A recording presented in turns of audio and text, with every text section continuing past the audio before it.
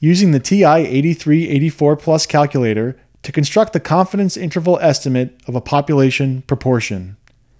This video uses the example titled Constructing a Confidence Interval Poll Results. First, identify the number of successes x and the number of trials n.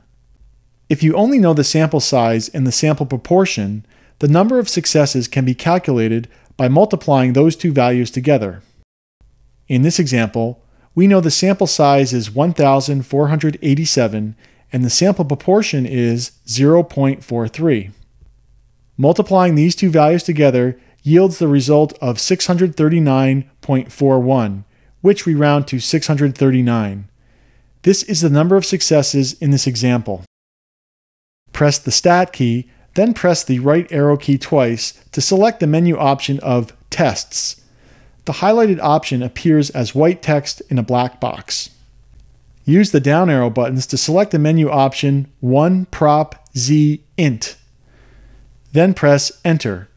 You can also press the alpha key and then math key for A to select this function.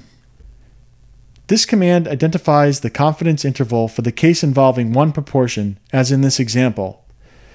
This is constructed using a critical z-score. First, enter the number of successes x. In this example, we enter 639.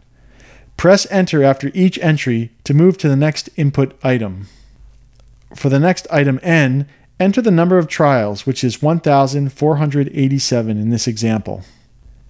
For the next item, C level, enter the desired confidence level.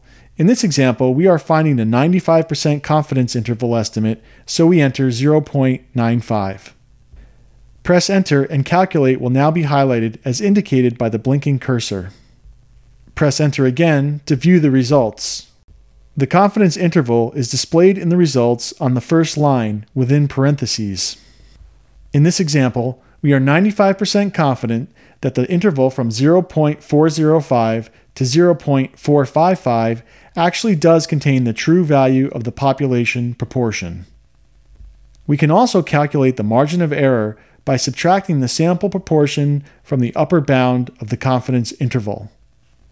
In this example, the margin of error equals 0.455 minus 0.430, which equals 0.025.